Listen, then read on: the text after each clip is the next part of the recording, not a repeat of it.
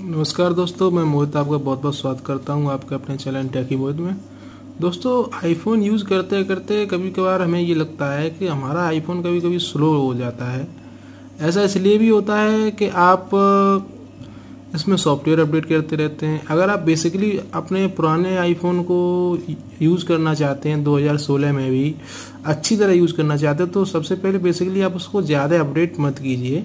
क्योंकि अपडेट करने से उसकी जो रैम कैपेसिटी है और उसके जो स्पेक्स हैं, उसके हिसाब से जो अपडेट आती है, चाहे आई यू एस टेन हो, चाहे आई यू एस नाइन हो उसको झेलने लायक नहीं हो पाती है। तो बेसिकली वो जब लैग तो करेगा ही। अगर आप उसको बार बार मतलब अपडेट करते हैं तो नई चीज़ें जो भी आएँगी, वो इतनी हैवी होती हैं ऐप्स जो वगैरह, वो उसको अपडेट करते ही आपके आईफोन को स्लो करना शुरू कर देते हैं। तो आप ऐप्स भी ज़्यादा, अगर कोई अच्छी ऐप है, नया अपडेट आया तो आप अपडेट कर लीजिए।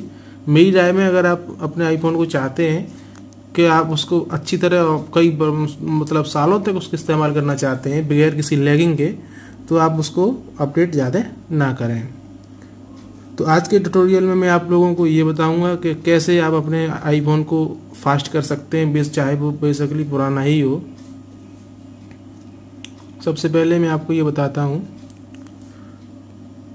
सबसे पहले आप सेटिंग में जाइए। सेटिंग में सबसे ज़्यादा देखिए, ये जो इसके एनिमेशन हैं, वो बहुत ज़्यादा स्लो हो जाते हैं। जैसे मैं क्लिक कर दिया, अभी थोड़ा गैप रहता है। तो सबसे पहले हमें अगर आईफोन को अपने को स्लो से बचाना है या उसको फास्ट करना है तो हमको सबसे पहले इसके एनिमेशन को बंद करना पड़ेगा।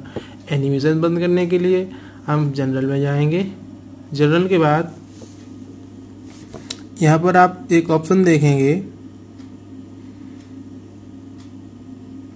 एसेसिबिलिटी एसेसिबिलिटी में नीचे जाइए। यहाँ पर आपको एक ऑप्शन दिखाई देगा रिड्यूस मोशन रिड्यूस मोशन को आप क्लिक कीजिए और उसको ऑन कर दीजिए।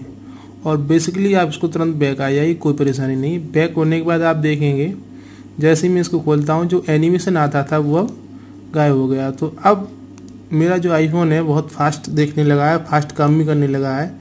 और हाँ इससे एक नई चीज़ और है जो इसकी बैटरी है, वो भी लगभग इसकी ट्वेंटी परसेंट ज़्यादा चलेगी। और बैटरी बचाने के लिए भी आईफोन को स्मूथ करने के लिए भी, दूसरी ट्रिक ये भी है कि सबसे पहले आप जब एनिमेशंस को बंद कर दें, जब आप एनिमेशंस को बंद कर दें तो यहाँ पर जनरल में जाकर, यहाँ पर बैकग्राउंड ऐप रिप्रेस और यहाँ से आप इसको ऑफ़ कर दें। इससे क्या होगा, जो आपकी बैकग्राउंड में जितने भी आपकी प्रोसेसें चल रही होंगी, वो बंद हो जाती हैं। जैसे ही आप फ़ोन को लॉक कर देंगे, अंदर की जो प्रोसेसें हैं, वो बंद हो जाती हैं।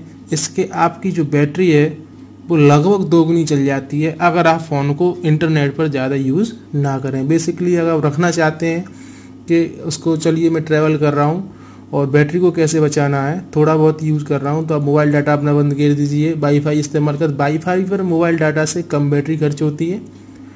मोबाइल डाटा पर वाईफाई से ज़्यादा बैटरी खर्च होती है। तो आप सेटिंग में जाकर, जो अपनी जनरल में मैंने बताया एसेसिबिलिटी से आप सड्यूस मोशन ऑन कर लें। और उसके बाद बैकग्राउंड ऐप प्रीप्रेस है। जो बैकग्राउंड ऐप प्रीप्रेस है, उसको भी यहाँ से ऑफ़ कर दें। इससे जो बैकग्राउंड की जो ऐप है, वो आपके अंदर जो प्रोसेसिंग करती हैं, वो ज़्यादा प्रोसेसिंग नहीं करेंगी। तो आज के ट्यूटोरियल में बस इतना ही। उम्मीद करता हूँ आपको मेरी जो वीडियो है पसंद आई होगी। तो प्लीज़ मेरे चैनल को सब्सक्राइब कीजिए। मैं आपके लिए आगे अच्छी से अच्छी वीडियो बनाने के लिए तत्पर रहूँगा। तब तक के लिए नमस्कार, जय हिंद।